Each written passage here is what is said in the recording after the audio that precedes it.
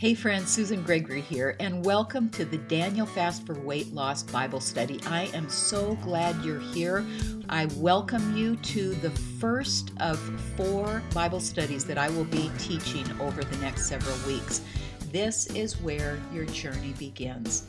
You may already be started on the fast or you're beginning in the next day or two, but this is where your journey begins in your lifestyle of faith. So, first, let me first introduce myself and so that you can get to know a little bit more about me if you're not familiar with me. First of all, my name is Susan Gregory, like I mentioned, and I am best known for these books the Daniel Fast for Weight Loss and the workbook that goes along with it. I started writing about the Daniel Fast in 2007. I cover some of that in the Daniel Fast for Weight Loss book and even more of it in this Daniel Fast book.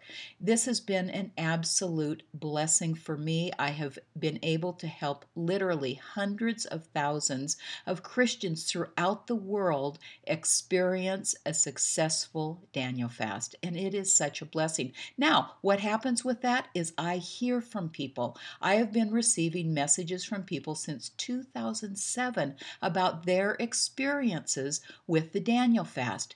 And out of that came the Daniel fast for weight loss. So many people talked to me and told me about their experiences, about losing weight, about their health improvements, their aches and and pains going away.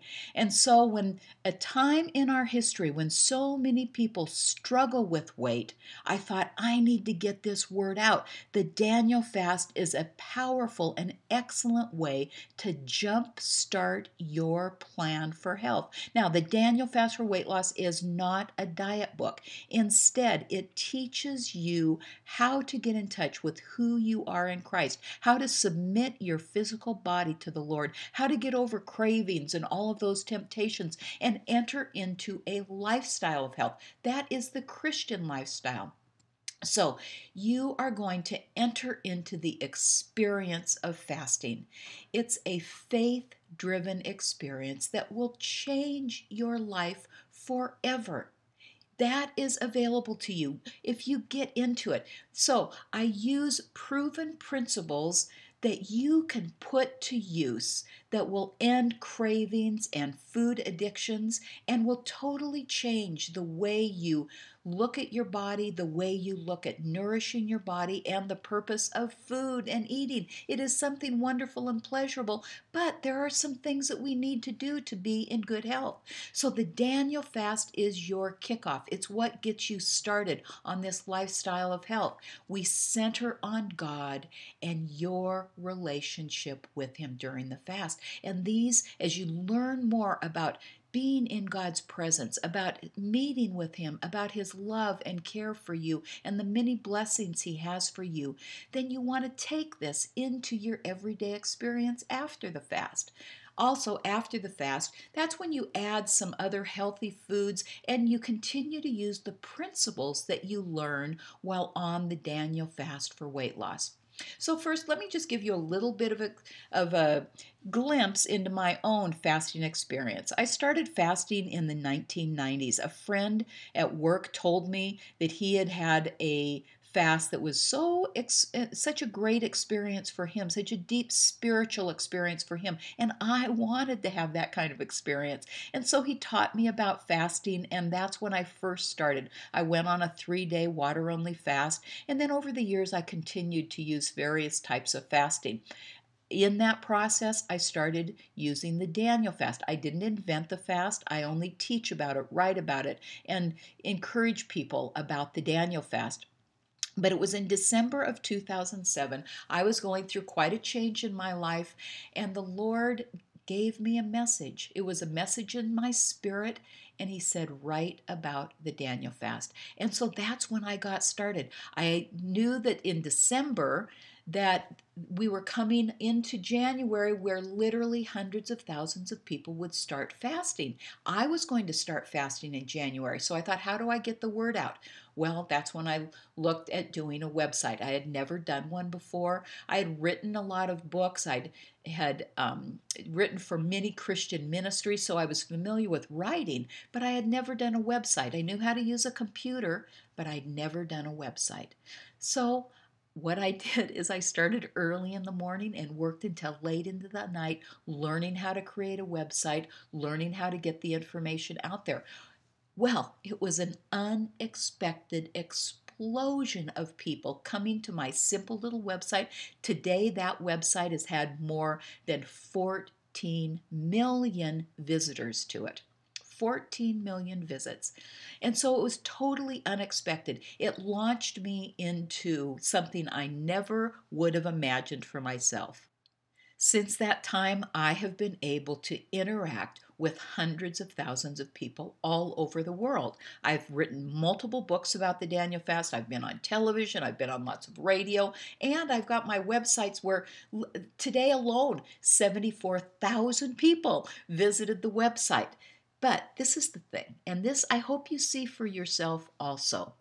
When God told me to write about the Daniel fast, He knew what was going on. Yes, I was amazed by it all, but He knew. And so when we pray to Him, when we ask Him to bless us, when we ask Him for solutions, He has the end in mind for us.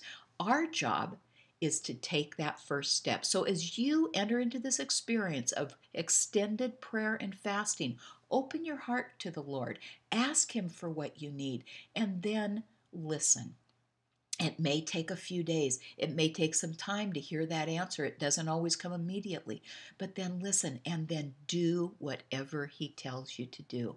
I've been able to engage with men and women from all over the world, and they started writing me letters telling me about their positive experience with the Daniel fast. It was a totally unforeseen benefit. I didn't know it at the time when I first started writing about the Daniel fast but so many people experienced really powerful, positive impacts with their health. First, weight loss. People said, I have never been able to lose weight, but on the Daniel fast, I lost 20 pounds or I lost 15 pounds. I've never been able to stay on a diet, but this was so easy for me. And that's because we are joining our hand with God. We are allowing the Holy Spirit to work in us as we submit ourselves to Him. People have improved health. They have increased energy, healings, and major health improvements. Lower cholesterol, being able to control blood sugar. The people that have type 2 diabetes, being able to control blood sugar with food alone. It is so powerful. Aches and pains and all kinds of things going away as we give our body the food that it needs for nutrition. We are giving our bodies during the Daniel fast the food God created for the bodies He created. We are undergoing a natural detox with all of the water we're eating, the natural foods, the clean foods that we're consuming. And so our body is getting rid of all the junk. So, first, let me give you a really quick overview of the Daniel fast. This is covered in all of my books, but I want to give you this quick overview. So, the Daniel fast is based on the fasting experiences of the Old Testament prophet Daniel. You can read Daniel 1 and Daniel 10. Those are the primary passages of scripture where we find the guidelines for the Daniel fast. Also, typical Jewish fasting principles are added to come up with the guidelines. Now, what are the foods that are allowed on the Daniel fast? Foods grown from seed. That's what Daniel ate. That's what he said in Daniel 1. He said, Give us only water and pulse to eat. Pulse is food grown from seed. So that means no animal products at all, but fruits, vegetables, whole grains, beans, rice, nuts, seeds, healthy oils, spices, herbs, all of those are allowed. Salt is allowed. Those are all okay on the Daniel fast. Now, what are the foods that are restricted? Any kind of sweeteners, chemicals, deep fried foods, any kind of animal products, fish, dairy, eggs, poultry, any kind of anything that comes from a breathing organism is not allowed on the Daniel fast. And plus, no sweeteners, no chemicals, no food additives, no caffeine, no juice. All of those foods are not allowed. Now, you can use juice in a recipe, that's fine, but the only beverage on the Daniel fast is water. You can use plant based milks. Those are okay for recipes or on your cereal. But again, the only beverage on the Daniel fast is water. You can put some lemon in the water or maybe some slices of cucumbers to freshen it up. You want to always make sure that you can still look at that glass and call it water. If you've got so much in it that it turns over to juice or it slants over to tea, then it is not allowed. The Daniel fast, the only beverage is water. Now, this is the thing you don't want to get so focused on the food and what you can't have and what you can have and creating all these exotic kinds of meals within the Daniel fast guidelines. You don't want to get so consumed with the food that you miss out on the powerful spiritual blessing that the spiritual fast offers to you. The Daniel fast is a method of spiritual fasting fasting is a spiritual discipline. So don't get so consumed about the food. It's a spiritual experience and not a Christian diet. So many people get so caught up in the food. Don't do that. Keep your meals simple. Don't make it about the food. Be wise, be calm, be prayerful, and enter into this spiritual experience. Yes, you have to deal with the food because we are eating differently. It's a partial fast where some foods are eaten and others are restricted, but don't get so caught up in it that you you lose out, you miss out on the benefits, the great blessings that God has for you you want to make sure to get ready for the fast. So prepare for the experience. One of the things that I like to do is think of it as like a vacation. When you're ready to go on a vacation, you have a different mindset. You know you're going to be doing different activities. You're going to wear different kinds of clothes. You might be eating different kinds of food. You're going to be involved with, have different supplies, different things that you take along on a vacation. The same type of thing happens when you enter into a fast. It's a different experience. You're entering in, you're crossing a threshold over into a different kind of experience. So you want to make sure to prepare for it. Get the foods that you need, get the study materials you need. Make sure you put aside enough time to be in prayer and study and time with God. And we'll talk a little bit more about that in just a minute. But think of it as like a vacation. And this is the deal there are so many unexpected surprises and lessons and blessings for you. Let me give you an example that I, that I use and I shared in the book. My sister Nancy and her husband Ron. This is a story about them. Now, this was a few couple years ago in October, I was down at a little resort in Mexico. It's right on the beach. I've been going there for 27 years.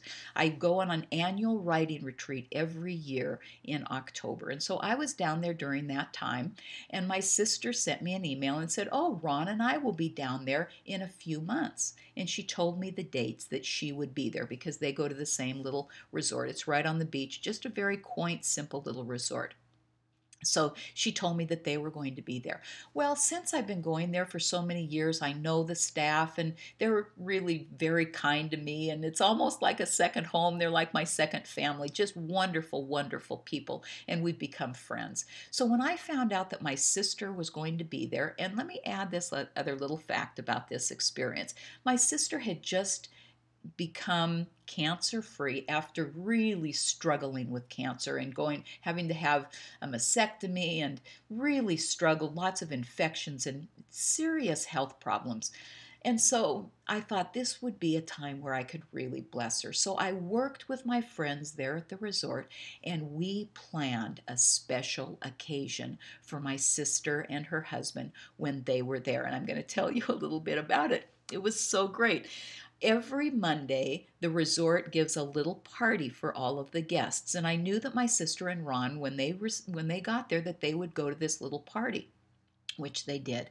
And then my friend who works there at the resort, her name is Charl, she took the hand of Nancy and the hand of Ron and she walked them down to the beach. And there on the beach, and I had prearranged all of this, I'd covered all the expense there on the beach was this beautiful canopy with flowers and gauze going blowing in the breeze. And under the canopy was this beautiful table with fine china fine linens a beautiful tropical flower arrangement and a lovely meal. There was a guitarist playing music. And so my friend charles led them to the beach for this lovely romantic sunset dinner on the beach Nancy and Ron had no idea that that was going to happen to them. It was a surprise, but they were there. They were at the right place at the right time so they could receive this unexpected blessing. The same is for you.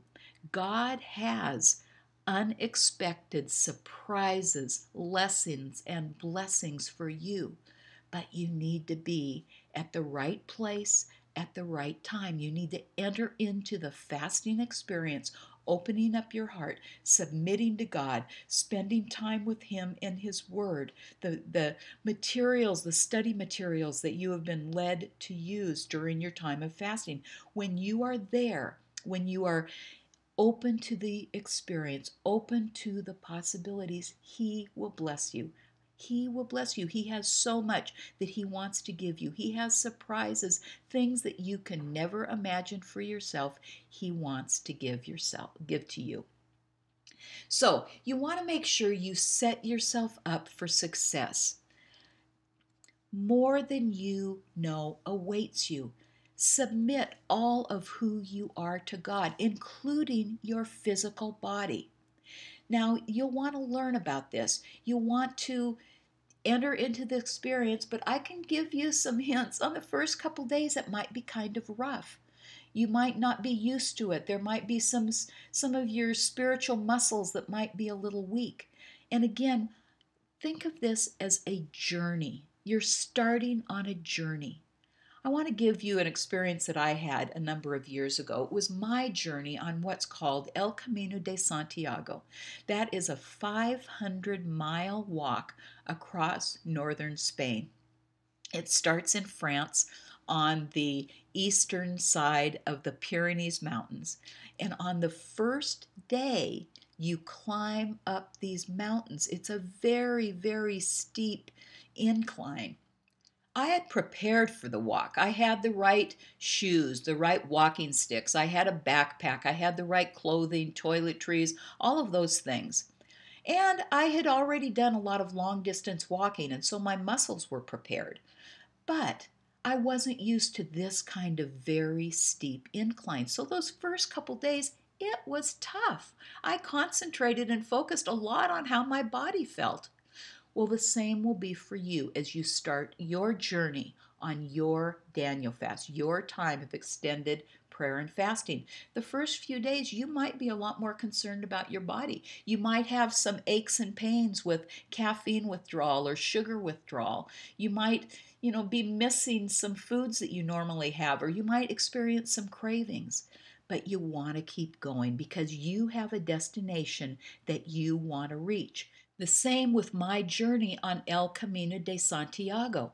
I wanted to get across Spain, I wanted to walk those 500 miles, and I wanted to reach Santiago. That was on the western side of Spain. So I needed to keep walking step by step, bit by bit, day by day the same for you. You want to get through these tough periods, and then it will get to the point where you don't notice your body anymore. You get into a routine, and that's what happened to me on the El Camino de Santiago. It got to the point that I didn't pay much attention to any kinds of aches and pains. I was eager to walk because the blessings were so great the scenery, the physical experience, my time praying with God, the friends I met, the experiences I had, they were the blessing. So the walking part, the physical part, becomes much less important. And the same will happen for you. The physical part will be much less important after you get through those first few days. But you've got to keep going. Don't stop. Don't let those first obstacles get you down. Keep moving forward because there is so much that awaits you, so many blessings. You want to make sure you pack all you need for your journey. Have your purpose for your fast. Have your study materials. Have your the foods you need. So you also want to prepare your heart. Think of yourself if you're maybe let's say look at a tennis match. If you get out onto that court and start playing tennis, you don't want to do it halfway. You want to play hard. You want to give it your best. That's the same with the fast. You want to give it your best. Don't settle for a mediocre experience. If you enter into the fast with a mediocre attitude, you will receive mediocre spiritual experiences. You want great experiences. The other thing is don't wait on God. So many people enter into kind of a passive experience saying, Well, I want to see what God does for me. But if you look at the scriptures, you will see that we have a part. We have a first part. The scriptures say, Walk in the Spirit. So then we can experience the blessings of God. It says, Knock. See, knock and you will receive. Seek and you will find. You see, it's our first step. We don't wait, just kind of sit there passively doing nothing, waiting to see what God is going to do. Instead, we engage, we participate, we spend time with Him, we seek Him. The Bible says that He blesses those, He rewards those who diligently seek Him. So diligently seek Him. Go after it. Play hard. Prepare your heart. Plan that you are going to be fully engaged in this experience. Then you will have a great experience. Also, look at the opportunity. Look at the positive things that are available to you, the things that you will learn, rather than spending so much time thinking about the negative things like, oh, I can't have this and I can't have this, and what am I going to do without my coffee? What am I going to do without my Pepsi? That is all negative. Instead, put all of that behind you Say, I'm walking away from that for a time because I want the great blessings that are available to me. Stay positive. Don't go the negative route. You want to go for the meat and leave the milk behind. Now, clearly, I'm not talking about physical meat. I'm not talking about the kind that we can't have on the Daniel fast. I'm talking about the kind of meat that is available to you, the spiritual meat. You don't want to be like a baby where you can only get milk. You're not a baby. You want to be a mature Christian. You want to be able to get some meaty truth from the Lord so you can chew on it and understand it for yourself so that it can change your life. So, one of the things you want to be involved with is planning and preparing.